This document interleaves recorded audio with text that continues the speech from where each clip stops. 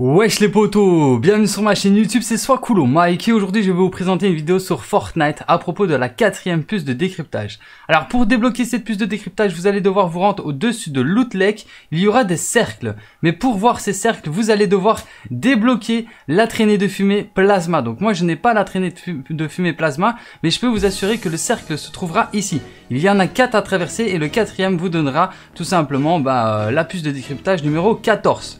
Donc voilà, j'espère que cette vidéo vous aura été utile. Si c'est le cas, n'hésitez pas à liker, à partager et à vous abonner si ce n'est pas encore déjà fait. Je suis tombé à court de batterie, c'est trop MDR.